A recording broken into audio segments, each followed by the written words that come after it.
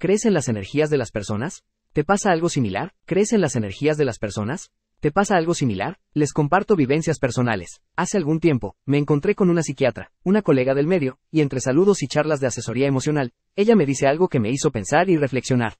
Ella es una psiquiatra bastante experimentada en tratar con todo tipo de personas que tienen trastornos de la personalidad, problemas de salud emocional, adicciones, cosas realmente fuertes.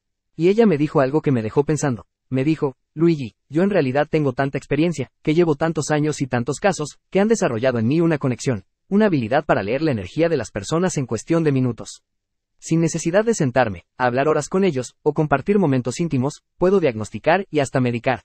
Y yo les pongo en contexto. Hablamos de una persona muy experimentada y profesional en su área laboral y científica. Y para quienes me conocen saben cuánto me gusta el contexto de las cosas antes de brindar cualquier tipo de asesoría. Me contó un poco de su vida laboral y, claro, me empezó a explicar de cómo empezó a aprender todas estas cosas. Y ahora les explico, que esto no es más que un desarrollo de la habilidad de su labor profesional. Se dice que para aprender algo verdaderamente, para dominarlo, para ser el maestro de un arte, necesitas 20 años de práctica sin parar.